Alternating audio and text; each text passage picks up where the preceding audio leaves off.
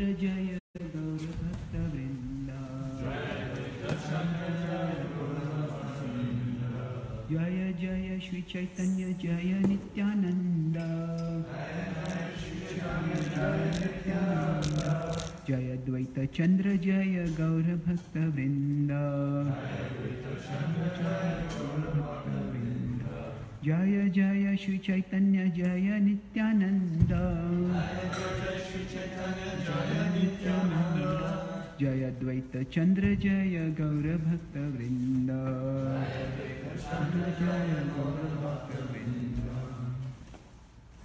Chaitanya Charitamrita, Madhya Lila chapter eight entitled talks between Ramananda Raya and Chaitanya Mahaprabhu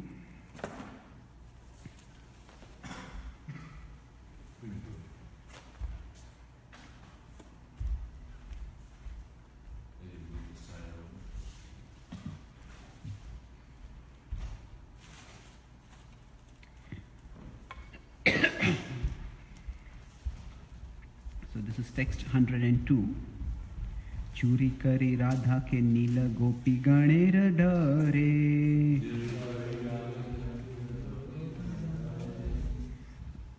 अन्यापेक्ष हैले प्रेमेर गाढ़ता न स्फुरे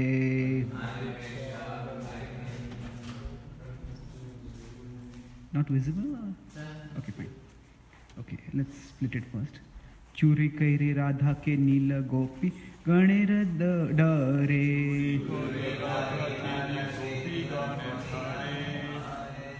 अन्यापेक्ष हैले प्रेमेर गाढ़ता न स्फुरे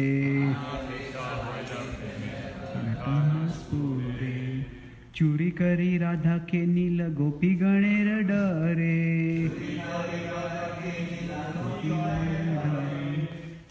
अन्यापेक्ष हैले प्रेमेर गाढ़ता न स्फुरे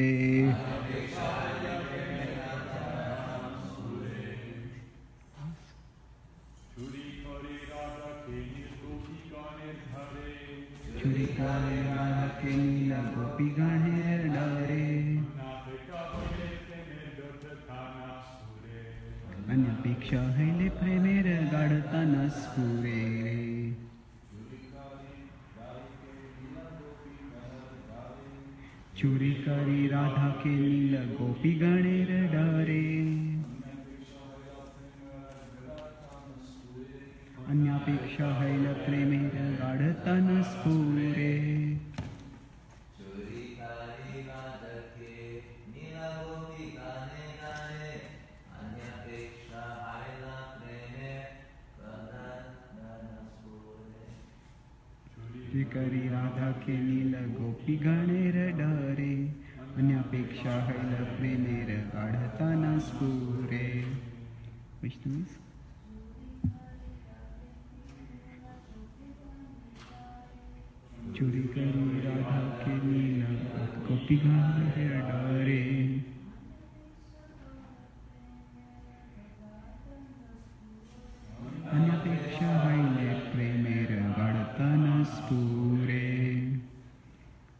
करी स्टीलिंग राधा के श्रीमती राधा रानी नील टुक अवे गोपी गणेर ऑफ़ द गोपीज डरे आउट ऑफ़ फियर अन्य अपेक्षा dependence on others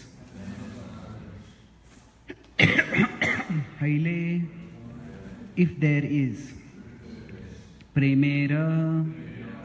of love.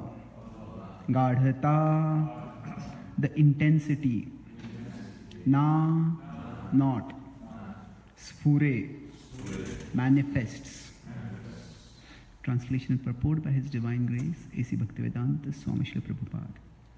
Translation. During the rasa dance sri krishna did not exchange loving affairs with srimati radharani due to the presence of the other gopis because of the dependence of the others the intensity of love between radha and krishna was not manifested therefore he stole her away purport. Out of fear of the other gopis, Lord Sri Krishna took Srimati Radharani to a secluded place. In this regard, The verse Kam Sharir Api, verse 106 in this chapter, will be quoted from the Gita Govinda of Jayadev Goswami.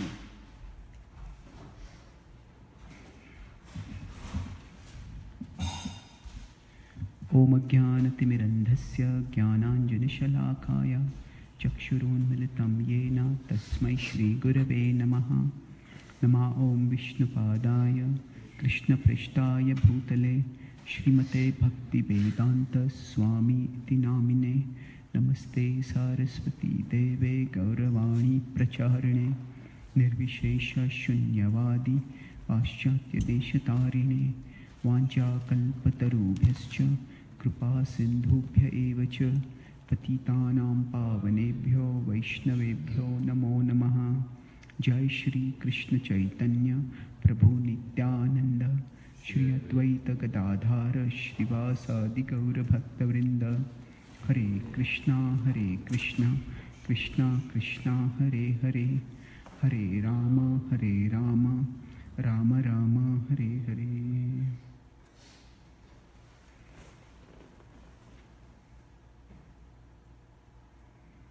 Hare Krishna. So we continue our discussion on the uh, Gaudiya Vaishnavism and its distinctive contributions. So, till now I discussed about how Krishna has intimate loving exchanges with his devotees and Krishna conceals his godhood. And yesterday I discussed about how Radha and Krishna are ultimately the same person manifesting as two. So today and tomorrow I'll talk about two distinctive aspects of Gaudiya Vaishnavism which we'll conclude the series. Today I'll talk about Parkiyaras, and tomorrow I'll talk about love in separation. So, earlier we discussed about how the question may come up if Krishna never comes under illusion, then how does Yogamaya bring Krishna under illusion? So, the Raslila section begins, that chapter, 29 chapter begins with Yogamayam Upashritaha. That the Lord took shelter of Yogamaya. He saw the beautiful autumn atmosphere and he desired to perform loving pastimes with the gopis. And for that purpose, he took shelter of Yogamaya. Now, the whole Bhagavatam describes the various tattvas that take shelter of the supreme tattva, that is Krishna. So, Krishna is the ashraya, everything is the ashrita. But that same Bhagavatam is describing that, that, that same, that supreme Ashraya, he, he took Ashraya of something else. so how does this happen? So if we consider Krishna Lila to be like a drama, yesterday I mentioned that drama is not in the sense of unreality, it is the supreme reality, but drama in the sense that it is all enacted for the reciprocation of love, for the uh, performance of loving exchanges. So in this case, we could say that Krishna is like the central actor in the drama, and all the Brajavasis are like other actors. And Yogamaya is like the director. So that actors, no matter how talented they are, the actors are often much more well known than the directors, where in in Hollywood or wherever else. The actors are who are visible. But the actors act as per the direction of the director. The director says, do this, do this. And then the whole drama or the movie goes ahead. And the actors, they're told by the directors that their creativity is to enact it all. So in that sense, uh, when it is said, the Bhagavatam says that Yogamaya Upashita, Krishna took shelter of Yogamaya. What does that mean? Yogamaya is like the director Krishna is like that actor. Krishna wanted to have loving reciprocations with his gopis. And so uh, he took shelter of Yogamaya. He entered into that role that he is Kishore. Kishore Krishna. He's a teenage, he, he's a teenager, he's, he's a youth, the young boy, and the gopis are young girls. And in that mood, they started performing pastimes. So when Krishna enters into that mood, that entrance into that mood is by the arrangement of Yogamaya. Now, as I mentioned, that when Krishna is running away from Mother Yashoda in fear, he's actually fearful. He is not just acting, he is fearful. Of course, he can come out of that fear whenever he wants. That is supremacy, but he is fearful. So, how is this?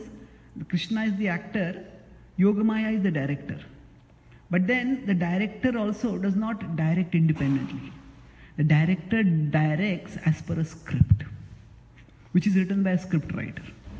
So often the whole movie uh, or whole drama begins with a script written by the script writer. So now it's interesting that for Krishna Lila, if we consider it to a drama, Krishna is the actor, Yogamaya is the director, but the script writer is Krishna himself. So that means Krishna is simultaneously in control and not in control. Because it is everything, the whole direction is happening by his script. So in that sense, he's in control. But when he is acting the role according to the script, at that time he he so much enters into that role that he temporarily forgets that he is God. That forgetfulness is not because of ignorance, that forgetfulness is because of transcendence. Ignorance means one doesn't know. Transcendence means one knows something higher. Just like there is darkness because of which, uh, if there's complete darkness, we don't see the clouds. That's this darkness, that's ignorance. But when there is a sun, and because of that brightness, we don't see the clouds, that is transcendence. So it's Krishna and the Vrajavasis, it's not that they are ignorant, they are transcendent. So mm, in the Gajendra's prayer, there's a concept called Parat Paratattva. Paratattva is Brahman.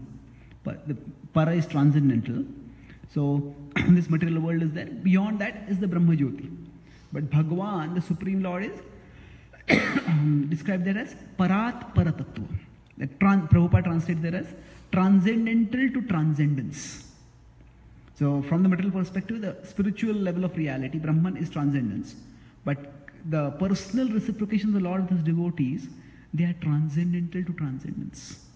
They are at a level where knowledge is there, but there is something more than knowledge. More than knowledge, which enables a devotee to relish Krishna Prem. So, Sambandha Gyan, it is said, is like the star. You know, like if somebody is trying to travel, then there's a pole star there in the ocean. Okay, this is the north, so I should go like this. So Sambandha Gyan, knowledge about our relationship with Krishna. Jivera Swarupoi Krishnera Nityadas. Jiva is the servant of Krishna. The Sambandha Gyan is like the star which guides the soul from the material world to the spiritual world. And without that star, one will not be able to navigate the path. So for us as sadhakas, the Sambandha Gyan is very important. We are eternally servants of Krishna. For the Vrajavasis, that mood of service is deeply internalized. And along with that, there is something much more. That is their intense affection. So that's when the sun rises, the star is still there in the sky, but it is no longer seen. So for the Vrajavasis, by the arrangement of Yogamaya, they don't know that Krishna is God. They're not consciously aware. And Krishna himself is not consciously aware. That is by Yogamaya. So this is uh, Krishna being in control and not being in control by being the actor who forgets and being the script writer according to whom the script moves. That is Krishna exhibiting Achintya Bhed in terms of Leela. Achintya Bhed is simultaneous oneness and difference. Simultaneously, Krishna is in control and Krishna is not in control. So, everything in the spiritual world is arranged for enhancing the loving reciprocations between Krishna and his devotees. So, that means the whole spiritual world is a dramatic setting.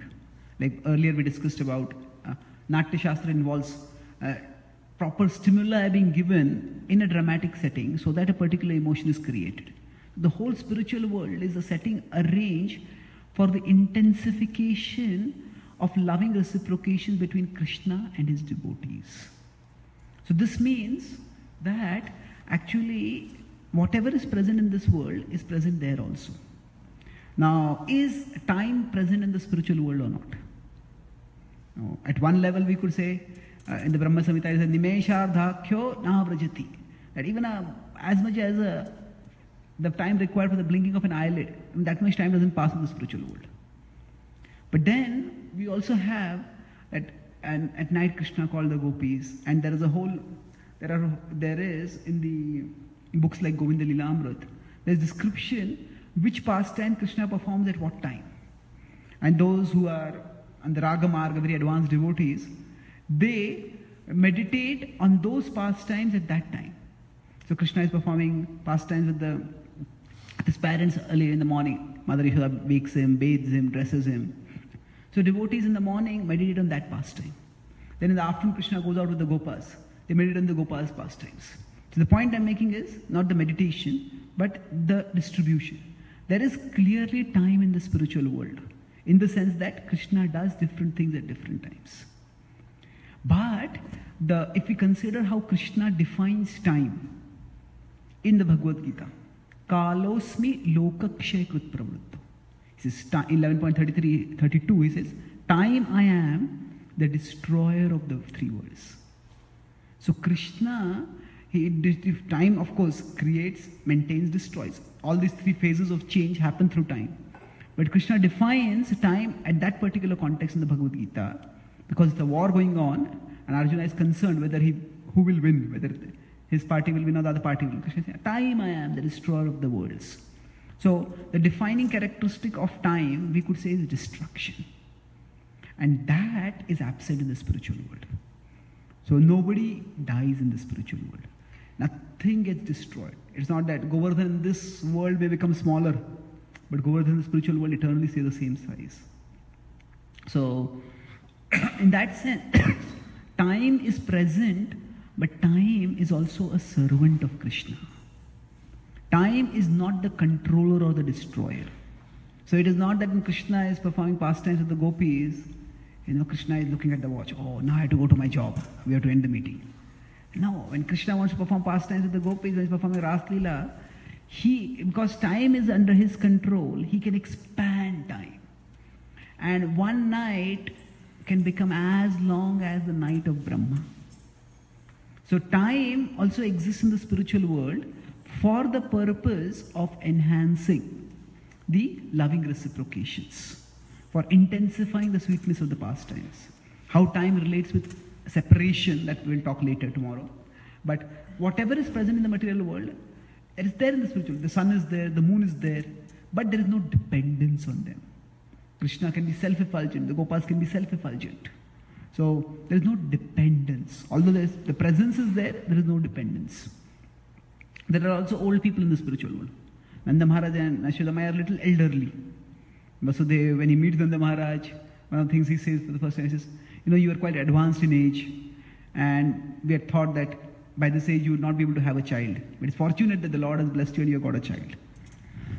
so there are elderly gopas also in the spiritual world, elderly gopis also there. But they don't grow older further. They're eternally of their same age. So Radha Krishna eternally of the youth age. So basically, there is in a sense, whatever we are present, what is present in this material world is there in the spiritual world also, in its pure form. And for a pure purpose. Pure purpose is, it is all for enhancing the loving reciprocation between Krishna and his devotees. So, Krishna, in Janma Mrityu Jara Vyadhi, Jara is, uh, Vyadhi is disease. Disease is another characteristic of the material world. There's no disease in the spiritual world. But when Krishna wants to reciprocate love with his devotees, he may manifest a headache. That is simply for intensifying the loving reciprocation. The, the Ishopanishad says that the absolute truth does not have, has, does not have any veins. Aparega chukram akayama vranam. Ashnaviram shuddham apapaviddham.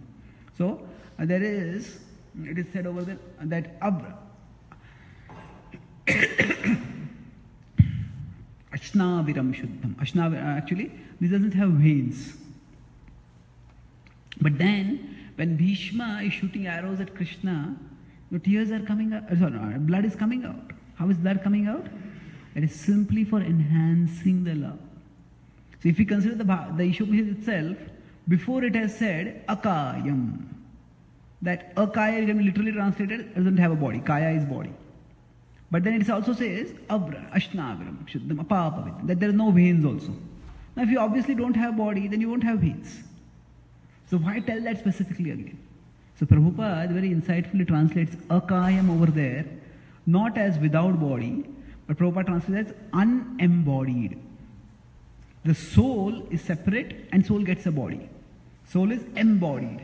But unembodied is not the same as disembodied. Unembodied, disembodied means somebody had a body but the body was taken away from them. But unembodied means they do not have a material body. So, uh, Uh, Krishna has a spiritual body. And that spiritual body, Krishna does whatever is required for the reciprocation of love. And with this setting, now we can understand, let's look at what is the significance of Parkiya and this was there's the word dare. That Krishna, when he was with the other gopis, he felt apprehensive about expressing his affection for Radharani specially. And that's why he took Radharani away separately. So, um, normally there are some things which we discuss if it's very close, intimate dealings.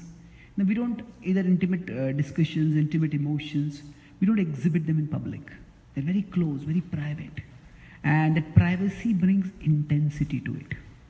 So the whole idea is Krishna wanted to have intimate exchanges with, with Radharani.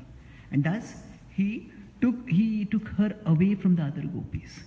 So similarly, there is the intensive, whatever is required for the intensification of love between Krishna and the gopis, between Krishna and his devotees, that is there.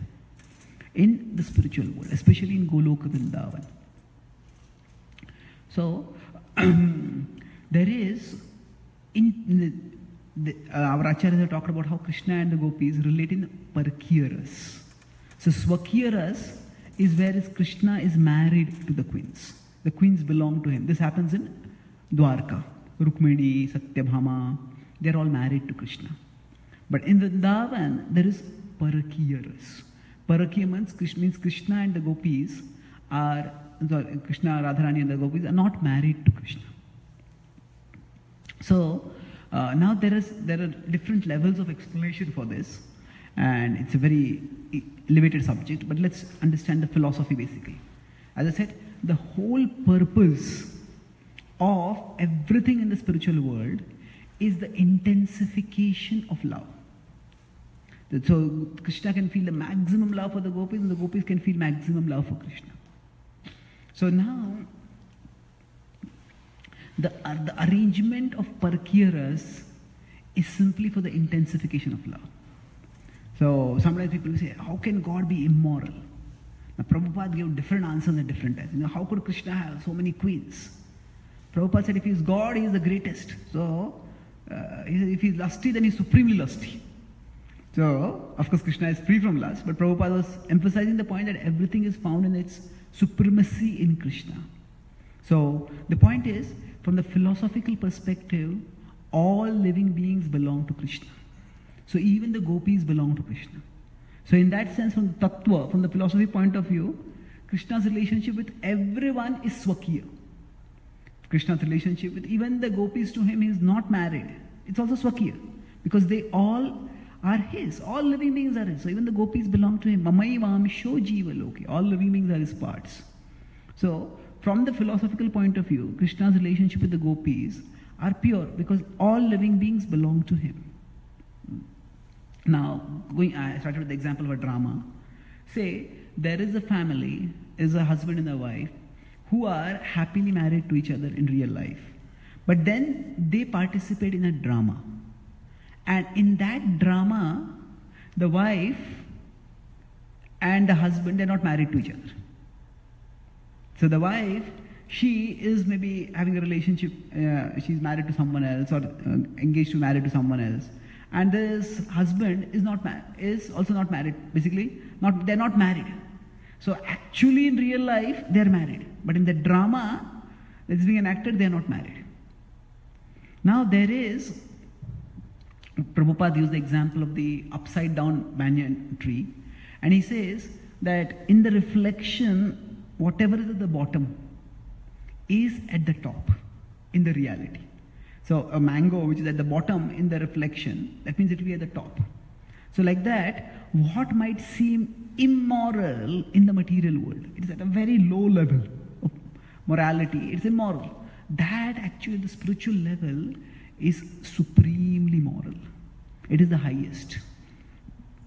So, so now in this world we see that when a boy and a girl they have to have a relationship with each other. Once they get married, they start taking each other for granted, and they're always there. And the love often wanes. Of course, there are other reasons also. They start to see the negative side, and the love wanes. But the maximum intensity of love is when the relationship is being formed. When they're just meeting each other, they're just eager. When is the next time we're going to go on date? When are we going to court? And there's so much eagerness over there. So when a relationship is just being formed, it has not been formalized. At that time, the intensity of the mutual attraction is the maximum. And further, whenever there is obstacle, you know that oh you know my parents are not allowing me to meet you, or my parents are not allowing me. The boy says or the girl says like that. Then they hide and they meet each other. So the opposition increases the excitement. You know, we'll meet over here, we'll do this, we have to do that, we have to do that. So now, this, of course, often leads to immorality in the material world. But the point is, when there is, uh, the relationship is not yet formal, the intensity is much more. And the excitement associated with the relationship is much more. So in the spiritual world, it is arranged in such a way that uh, in the lila sense, although Krishna and gopis are eternally swakiya, but for the sake of lila, for the sake of intensifying their attraction, for increasing the excitement in their mutual dealings, it is arranged that Krishna and the gopis, they are not married to each other. And then whenever they want to meet each other, then there is so much excitement. Now, in fact, it is, it is also said that uh, Radharani is married to another Gopa, who is Abhimanyu. Abhimanyu. This Abhimanyu is different from Arjuna's son Abhimanyu. He's a different person. But now, who is Abhimanyu? If we consider from Leela's perspective, Abhimanyu is actually an expansion of Krishna's shadow. So, and Abhimanyu never touches Radharani. So there is Abhimanyu's sister and his mother, Jatila and Kutila. And they are constantly obstructing Radharani from coming to meet Krishna. Now, the whole purpose of this is simply to intensify the excitement. Now, as they say there's an elephant, and that elephant is young and it is growing. So, when the elephant is growing, at that time, you know, maybe the baby elephant was tied to a pole, and it tried to pull, it couldn't, couldn't break the pole. But as it grows up, it starts realizing it it, its strength is increasing. And say, nearby there is, maybe the elephant is, the elephant has become grown up, and then nearby there is some delicious food. And the elephant wants to go there. Now, if the food is directly available, then the elephant will just eat it. But if the food is not available, then the elephant will pull and stretch. And then, as it stretches, it says, hey, this tree is bending. This tree is bending and tree is breaking. So the elephant realized, oh my, I didn't know I had such strength. And the master also said, oh, I didn't know this elephant had become so strong. So what happens when there is opposition for the elephant? Then in that opposition, there is internal realization of one's strength and there is external expression of one's strength. So the elephant comes to know I am so strong, and others also come, oh, how strong the elephant is.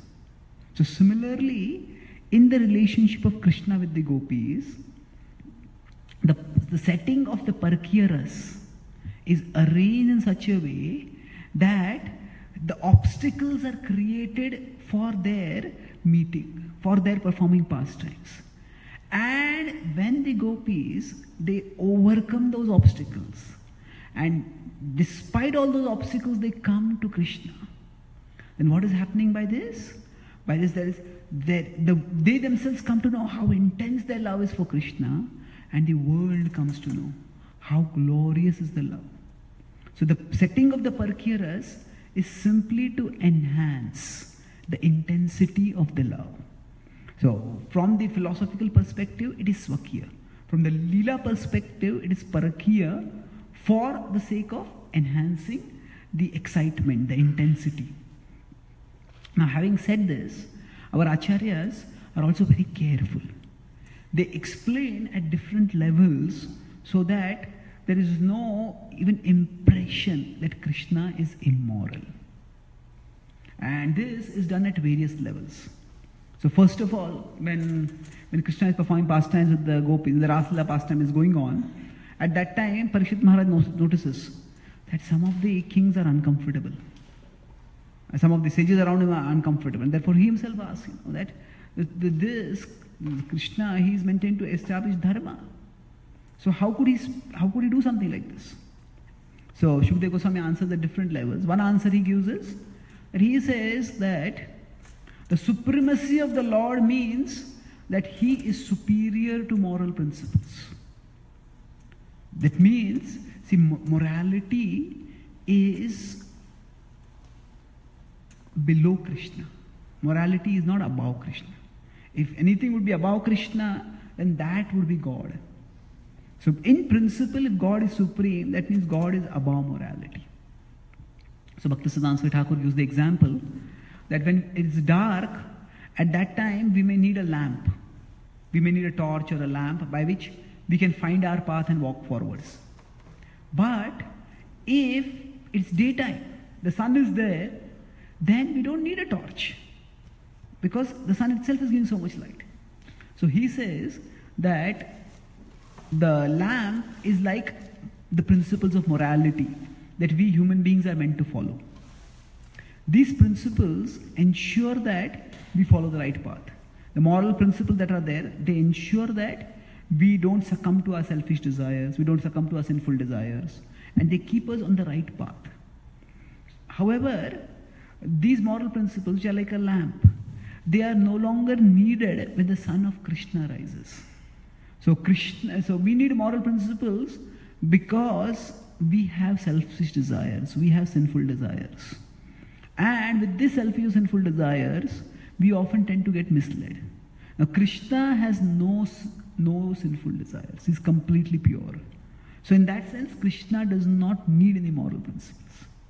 The Bhagavad also uses the argument that by chanting Krishna's names, people become free from lust. And that is something which all of us experience to lesser or greater extents. So then the Bhagavatam says, how is it possible that Krishna himself, who purifies people of lust, can ever act out of lust? So Krishna, when he's interacting with the gopis, it is not out of lust. Now sometimes the word kama is used. But the word kama is simply used to indicate the intensity of the attraction. It is not used to talk about the selfish lust that is there in this world. It's used simply to indicate the intensity of the attraction. Now, apart from this, also, our Acharya described that actually the relationship was not immoral because the gopis they desired to have Krishna as their husband. And for that purpose, they perform Katyayani Puja. And at that time, Krishna, he, when they were bathing in the, um, in the Jamuna, Krishna accepted them all as his wives. Adracharya has also described that when the Brahma Vimohan Lila was going on, at that time, you know, Krishna had expanded on all the Gopas. And then the Brajavasis, the Yogamaya, she came mm, and she said that now it is time Purnamasi, she came and said, now it is time, you know, this, they're all, it's time for their marriage. So all the gopis were married to the various gopas. And all these gopas were actually Krishna. So in that sense, Krishna, when he was performing Krishna performing lila with the gopis, he was already married to them. And not only that, further, um, It is in the Bhandiravan, there is a place where Krishna and Radharani get married. Brahmaji himself comes and performs marriage. So, uh, not only that, Jiva Goswami in the Gopal Champu describes elaborately how Krishna, after he goes to goes to Dwarka, comes back to Vrindavan. And when he comes back to Vrindavan, he marries all the gopis. And he describes that when the gopis are married, apparently, to the other gopas, he says that just as in the case of uh, Sita, when Sita was abducted, it was actually by Ravana, Sita was not abducted. It was an image of Sita, a Maya Sita was abducted. And the pure Sita was untouched. So like that, Jiva Goswami uh, quotes various Shastras and describes that actually there were two sets of gopis. And the gopis who lived in their husbands' houses, they were actually the Maya gopis. And the real gopis were completely pure and they were married to Krishna when Krishna came back to, from uh, Dwarka to Vrindavan. So the point of uh, discussing all this is that actually there is no immorality. There is immoral, there is moral, and there is transmoral. There is transcendental morality. So when Krishna and gopis they perform, their lila is being performed, it is transmoral. It is at the level of the highest purity. Because they're all acting simply out of pure love, selfless love. So Krishna is God, but he hides his godhood so that his devotees can love him and so that he can love his devotees. The gopis, they know Krishna is God, but that knowledge goes in the foreground. And they think we have to do whatever it takes to serve Krishna. Now, the if we look at the five rasas, the word madhurya, Srila Prabhupada translates it as conjugal. And Bhaktisiddhanta Thakur would translate it as amorous. The amorous affairs of Krishna with the gopis. Now, the word conjugal refers to the status of relationships when there is a legally wedded couple. Conjugal relationship, that means a relationship with husband and wife. The word amorous refers to relationships which are centered on lo- loving attraction, but often there is no connotation of marriage over there. It's just attraction between male and female. So, if you consider the gopis, their relationship with Krishna in terms of tattva, I said swakya. So, Srila Prabhupada is focusing on translating Madhurya as conjugal. He's focusing on tattva. The gopis are actually eternally married to Krishna in the sense that they are all eternally his parts. All living beings belong to him. So, even the gopis also belong to him. And when the previous Acharya has translated as say amorous, Bhaktisiddhanta Thakur is focusing on the lila over there. Actually, in terms of lila, Krishna and the gopis, they are not married to each other. And that is simply meant to enhance the excitement of the pastimes. And this way, when the gopis, they're eager to meet Krishna, they're longing to meet Krishna, they never take each other for granted. Because Krishna and gopis are not always together. So every time when they meet, there's such enthusiasm, such anticipation, such excitement. And when uh, the whole setting, if we understand that the in the spiritual world, it is not God who reigns supreme. In the spiritual world, especially in Golok Vrindavan, it is love that reigns supreme. It is not God that reigns supreme, nor is it morality that reigns supreme. It is love that reigns supreme. And for the sake of love, Krishna subordinates his divinity, and Krishna subordinates even ordinary morality. But just as Krishna always remains God, Krishna is always supreme, and whatever Krishna does is always moral. It is not immoral. But it appears in some cases as if it is immoral.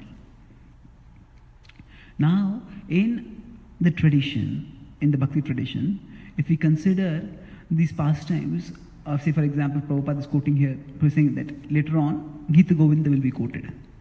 Now, Gita Govinda is a very esoteric book at one level, which describes uh, how Krishna, he is in agony in separation from Radha, and eventually how the two of them meet each other. So, in the tradition, Gita Govinda, it has been chanted, it has been recited, and it is cherished as an exalted work of devotion. Uh, why is that? Is it that people did not have? So the whole plot of plot line of Govinda, Gita Govinda is that you know, Krishna and Radharani are supposed to meet at a particular place, but at that time Krishna is meeting some other gopi, and when Radharani comes to know about that, she gets very angry. And then when Krishna comes to meet Radharani, Radharani is so angry that she refuses to meet him. The whole Gita Govinda is about how Krishna persuades Radharani and he wins her over. So now, if you consider this pastime, this has been sung by the greatest of saints and sages.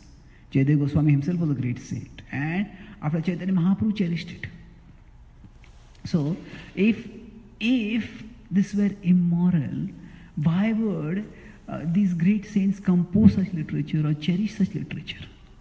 So, at the very least, before somebody criticizes the Parkiyaras as immoral, know, one can just be open minded. Things are not just as they appear to be. I'll conclude with a simple example of how the understanding of the Tattva is essential before understanding of the Leela. Understanding of the position is vital before understanding of the action of the pastime. So, now if some person who has lived in a village and that person, or, a tribe, and that person doesn't know anything about surgery, doesn't know anything about any artif- anything, uh, uh, how the body is operated and treated, and that person comes to a, a hospital, and the operation theater he finds that you know, he just comes there and he sees this doctor takes out a knife and starts cutting. He starts cutting. Hey, what are you doing? You're killing this person. You're hurting this person. He starts screaming. He starts screaming. And, and all that, shut up, just be quiet. And then, after the surgery gets over, he's cut up the patient and he tells the relatives of the patient, you know, he's cutting him up. He says, be quiet.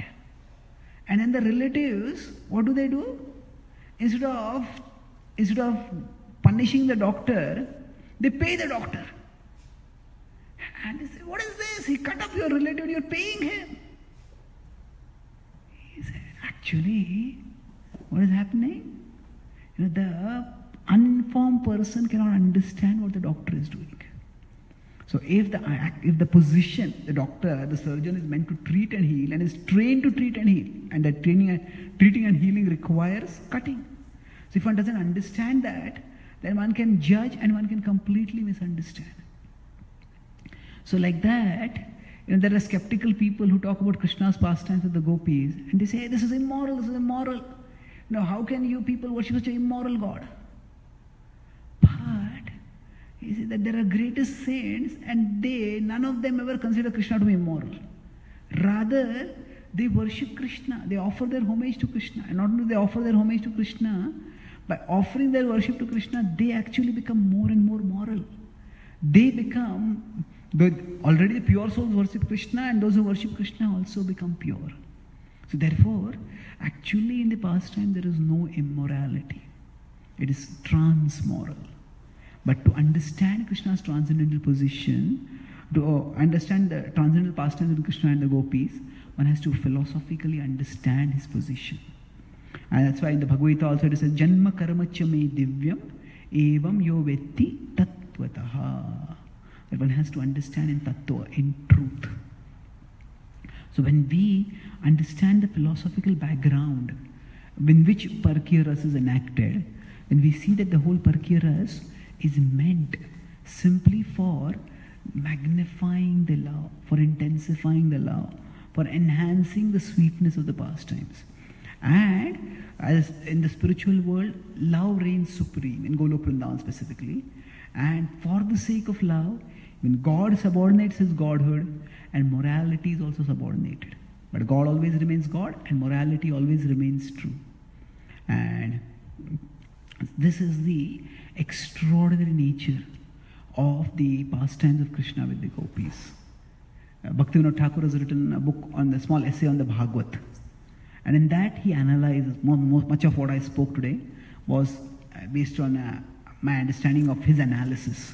So he had to present the Bhagavatam to people at that time. And people were just already the Western Christian missionaries were saying, Oh, you Hindus, your God is so immoral. And there were Indians also saying, Yes, yes, Krishna is immoral. The Krishna of Kurukshetra is good. Krishna, who is the speaker of Bhagavad Gita, is a great philosopher. This Krishna of Vrindavan, you know, he's He's the immoral character. But actually, Bhaktivinoda Thakur explains how this is the highest. And Prabhupada was once asked that, no, please tell about Ras Lila. So Prabhupada said, first Kurukshetra Lila, then Ras Lila. Kurukshetra Lila means Krishna spoke the Bhagavad Gita over there. We understand the Bhagavad Gita, we understand the position of Krishna. And then only we can understand the Ras Lila. Of course, uh, the Ras Lila is a very elevated topic and at one level, we can say we should not discuss it only. That is true. We cannot discuss the confidential aspects of it. But the fact is, if we don't understand it, if we are not able to explain it, people are going to get some understanding of, of, of the other of it. And most likely, their understanding is going to be a misunderstanding. So, we cannot understand it enough to be able to relish the intimate exchanges in those pastimes. But we can and we need to understand it enough so that at least we can help those who have got some misunderstanding. So that we can at least explain how it is not immoral, how it is transcendental. And at different times, different uh, reasonings can be used. So Prabhupada in the uh, Krishna book says that actually Krishna was just uh, eight years old. So an eight-year-old boy never has any lust. So there is nothing mundane about this pastime.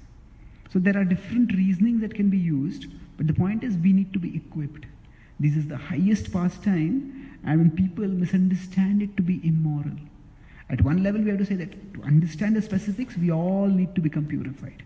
But to understand the overall principle, we need to have enough understanding by which we can explain, we can ourselves be convinced and we can explain to others how this is actually sublime. It's supremely sublime. It is exhibition of pure love in an abode where love reigns supreme. So I'll summarize. I spoke today about how here uh, in, in Gaudiya Vaishnavism, the relationship between Krishna and the gopis is in Parakiyaras. And what is the purpose of, or how do we understand this Parakiyaras? So I talked about the spiritual world, everything is arranged for the enhancement of loving reciprocation between Krishna and his devotees. So, the spiritual world like a drama, which Krishna is the central character, uh, Yogamaya is the director, and again Krishna is the script writer. So Krishna is in control and Krishna is not in control. It's again for the purpose of enhancing the Leela. Because it's Leela which happens according to Krishna's will, so Krishna is the script writer, he's in control. But because Krishna wants to relish the Leela, so he wants to absorb himself in it. So then he, he forgets. So in that sense, he's not in control. So the whole, it's, it's a drama, not in the sense that it is unreal, but drama in the sense that it is, the setting is made for intensifying the emotional effect and the emotional reciprocations. So time in the sense of being a controller or destroyer is not present in the spiritual world. But time as a means for having variegatedness, as a tool for having different pastimes at different times in different environments. Time as a servant of Krishna is present in the spiritual world. Similarly, disease is not present in the spiritual world. Old age is not present in the spiritual world. But it's not present in the sense that it doesn't debilitate. But if for a particular pastime Krishna has to manifest a headache, he will manifest. And if for having a particular kind of relationship, certain gopas need to be old, the gopas or gopis, they will be old but there's no debility because of that. And same way with, if you consider this purpose of enhancing the sweetness of love, then Krishna arranges his parakiyaras. So in tattva, in philosophy, because all living beings belong to Krishna, so even the gopis belong to Krishna. But in terms of lila, you know, when a relationship is not formal, then the excitement, the intensity, the anticipation is much more. And what is often leading to immorality in this world, which is like at the bottom of the uh, the mango at the bottom in a reflection. That is at the highest in the in the reality. So that which appears immoral in this world, that is supremely moral, that is transmoral, because it that demonstrates how the devotees are ready to give up everything for Krishna's sake. So the so uh, the gopis they give up even moral fetters apparently to come to Krishna and that is their selfless love for him. So the setting in which okay, apparently Radharani is married to someone else, and there are her in-laws who stop her from meeting Krishna, it's all meant to enhance the excitement, enhance the sweetness. So it's like Krishna and Radharani, they are a married couple, but in a drama, they're acting as if they're not married, and they're having a relationship. It's in Tattva, if you understand, there's nothing immoral. And in Leela also, actually, our Acharyas have explained it is not immoral. Because you have four explanations, and there are many others also which our Acharyas have given. One is that Krishna was, when the gopis worshipped Krishna, gopis worshipped Katyayani to get Krishna as their husband. Krishna fulfilled their desire and accepted them as their husbands. Then when Krishna, in the Brahma Vimohan Leela, when Krishna was, expanded all the, all the gopas, at that time, Krishna married all of them, mm, all the gopis. So in that sense, he's their husband. And Gopal Champu describes that Krishna actually was came back to Vrindavan after being in Dwarka, and he married all the gopis. So he, and of course, what Prabhupada says is Krishna at that time was just seven years old, so there was no lust. So within the Leela also, how there is no immorality is explained by acharyas. But why at all this setting is there? It is there to intensify the reciprocation of love. And then I, uh, just as when there's opposition, elephant realizes the strength internally and expresses it externally. Like that, the opposition to the love between Krishna and gopis demonstrates for themselves and for the world the glory, the intensity of their love. And concluded by talking about how tattva needs to be understood before lila. So a surgeon may be misunderstood as a murderer by an ignorant person. Uh, similarly, Krishna may be thought of as immoral by some people, but the greatest saints, they worship Krishna. And not only they worship Krishna as supremely moral, but by worshipping him, they themselves become moral. So, at the very least, uh, an open minded person will not dismiss it as immoral or questionable. So, there is something deeper over here which I need to understand.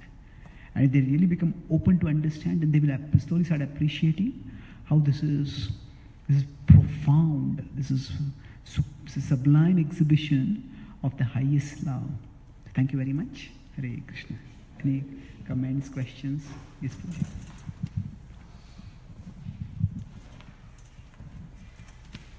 When Krishna comes, he has his wonderful childhood pastimes, and then he has his pastimes with the cowherd boys, and then Parakia. You mentioned that in the spiritual, Krishna and Radharani, they're eternally this Youthful, age. yeah.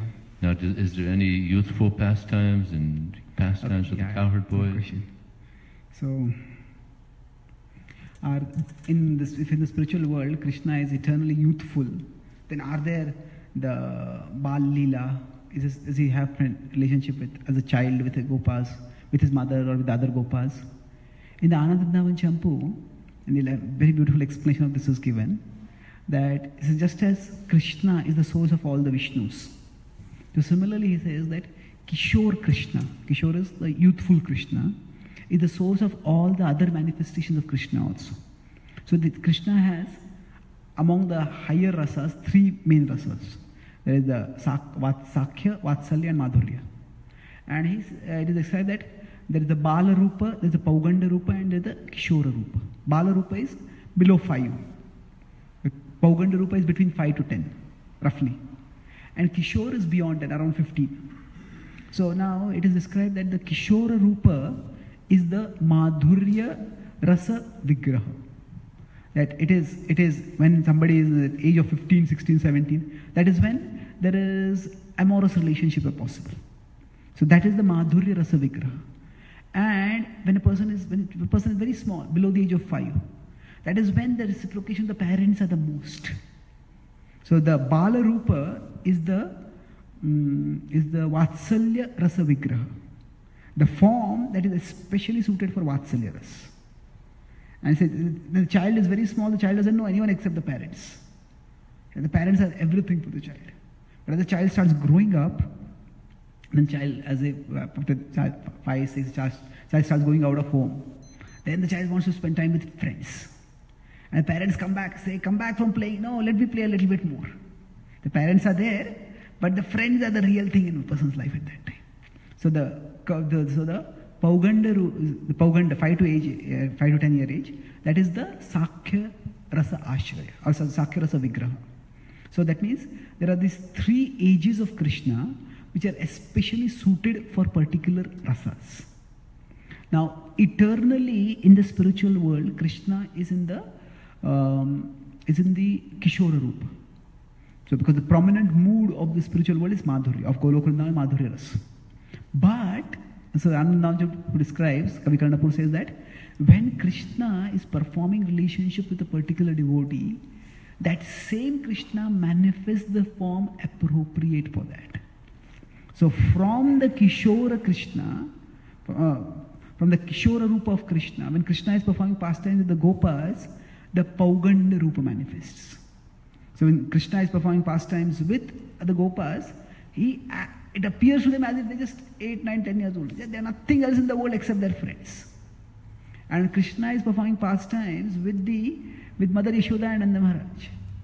At that time, to him, although he is Kishora Krishna, he appears as if he is Bala Krishna. He is Bala Rupa. And that's why it is described, you know, many times in the Bhagavatam we will see that even Krishna is grown up. You know, Krishna, he has just killed Kamsa and he comes and meets Devaki. And when he meets Devaki, what happens? It is described that from Devaki's breast, milk started coming out in affection for Krishna. Now Krishna is already at least 10 years old. Now 10 years the milk doesn't stay in a woman's breast. But that, that's not, it's not physical or biological. The milk is a representation of the mother's love for the child. So in the Leela setting of the spiritual world, whatever is required for the intensification of the Leela, that is done. So Krishna manifests the, the Bala Rupa when he is reciprocating love with his parents and those who are in the Vatsalya Krishna, Kishore Krishna, who is eternally Kishore, he manifests as the Pauganda Rupa when he's interacting with Sakhas. And when he's interacting with the gopis, he manifests the Kishore Rupa. So all the relationships are there and the appropriate forms and moods are also there. So the Bal Leela is also there, but the whole chronological sense of the pastimes, uh, in the sense that Krishna was a baby and then Krishna grew up and then Krishna did this, that is not there in the spiritual world. Krishna is eternally youthful, but all the devotees, uh, he reciprocates with them in a mellow that is suitable for their fulfillment. Thank you. Thank you, Shibru. Um, thank you for your class. You gave a really um, poetic and nice, very um, powerful analogy when you were, you were mentioning the importance of Sambandha Gyan. You mentioned like stars guiding us in the sky to where we, we go. And then you mentioned how one at the perfectional stage, like just like the gopis, it's like the sun rising and then the stars are still there, but they're not so visible. Can can you talk more about that one? Can you, can you explain that Okay, analogy yeah. more? So I said that Sambandha Gyan is like the star and Gopi's love for Krishna is like the sun. So Can I elaborate that? Yes, if you consider on the Gopi Gita, and लेब्रेट् that you can Gopi Gita verse is न खलु भवान् अखिल देहिनां अन्तरात्मदृ विखन सार्थितो विश्वगुप्तये सखौ देयिवान् सात्त्वतां कुले so every single verse of the Gopi Gita the underlying mood is Krishna, come back. Krishna, please come back. You disappeared from our vision. Please reappear in this vision. Re- reappear before us. So in this verse they're saying, now we understand Krishna. Nakhalu Gopika Nandano Bhavan. Now we understand that you are not Gopika Nandan. You are not Yashoda Nandan. Now we thinking that you're just one of our guys, but you are not. In the previous verses, it is said that how Krishna, you saved us from so many demons, from Indra and from Yoma and so many other demons. How could you have done this? Because you are not Gopika Nandan. Then who are you? Vikhanasarthito. Vi- no, you are Akhila Dehinam Antaratmadrik. You are the indwelling seer in the hearts of all living beings. That is the super soul is present, is Vishnu himself is present in the hearts. Then, then if he's in the heart, what is he doing outside over here? Vikhanasarthito Vishwaguptaye. He is Vikhanas. Vikhanas is Brahmaji. Brahmaji is distressed and he beseeched the Lord. Vishwaguptaye. Therefore, for protecting this world, for protecting the universe from the demons, you have descended.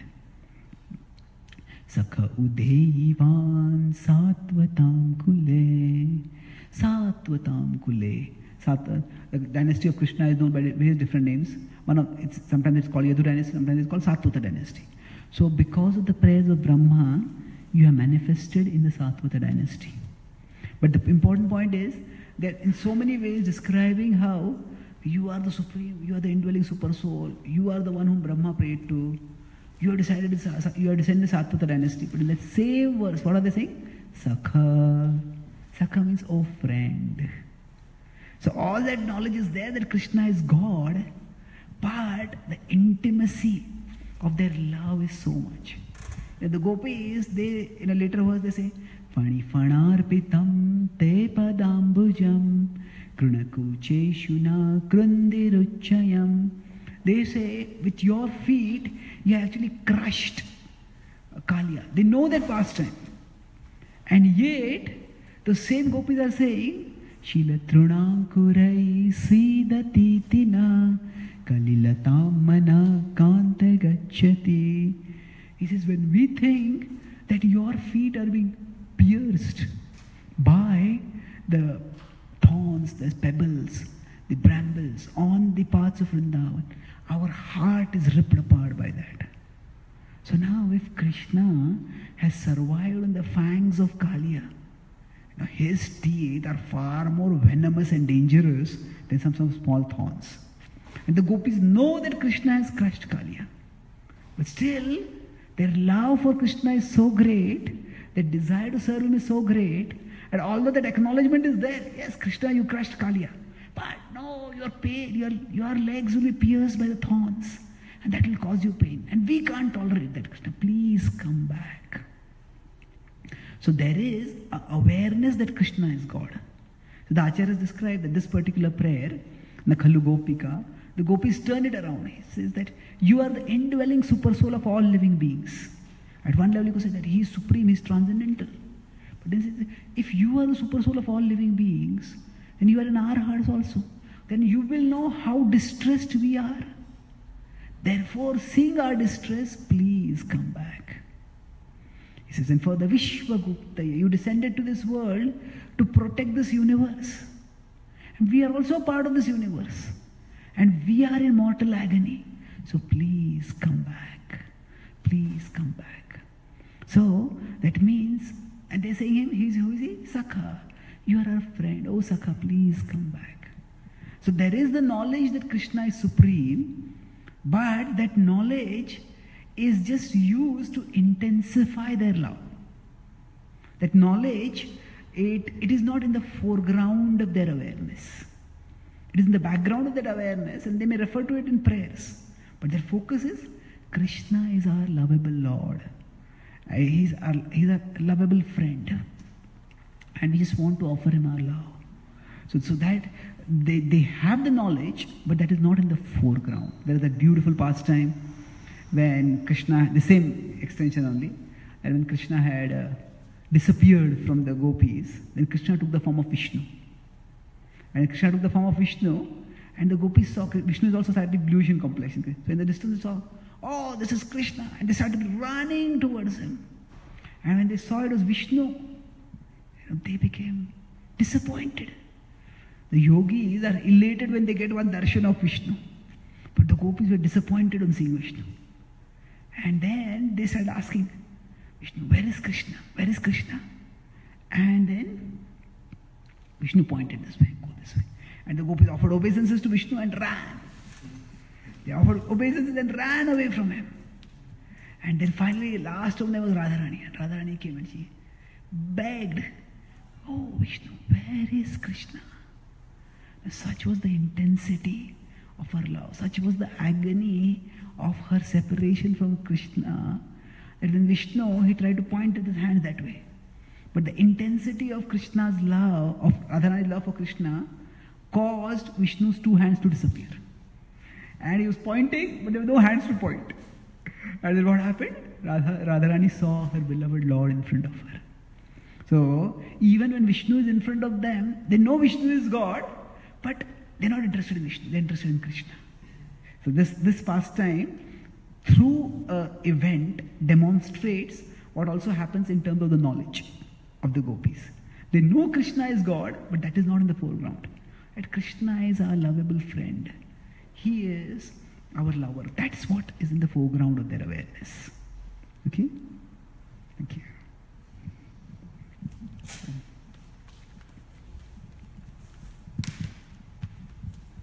Thank you.